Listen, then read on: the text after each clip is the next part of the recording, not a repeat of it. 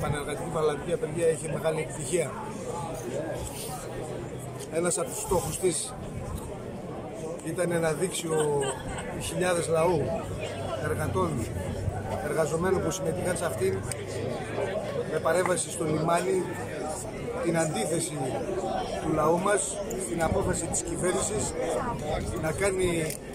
νατοϊκό τσιφλίκι στο λιμάνι που οι λαοί το θέλουν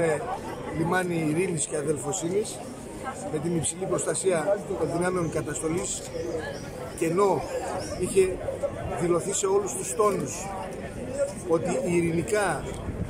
θα εισέλθουν στο λιμάνι για να διαδηλώσουν την αντίθεση απέναντι στο γεγονός ότι μεγάλα πλοία ξεφορτώνουν δολοφονικό υλικό που διέρχεται μέσω της χώρας μας για να πάει στα πεδία του πολέμου στην Ουκρανία για να δώσει δύναμη δηλαδή στη σφαγή του λαού στην αντιπαράθεση των μεγάλων μονοπωλιακών ομίλων. Αντί αυτό να γίνει δεκτό οι διαδηλωτές δέχτηκαν την ανέτεια απρόκλητη επίθεση των δυνάμεων καταστολής και ουσιαστικά κατηγορούνται με ανυπόστατες κατηγορίες την στιγμή που χωρίς καμία πρόκληση δέχτηκαν βάναυση επίθεση με έναν να έχει οδηγηθεί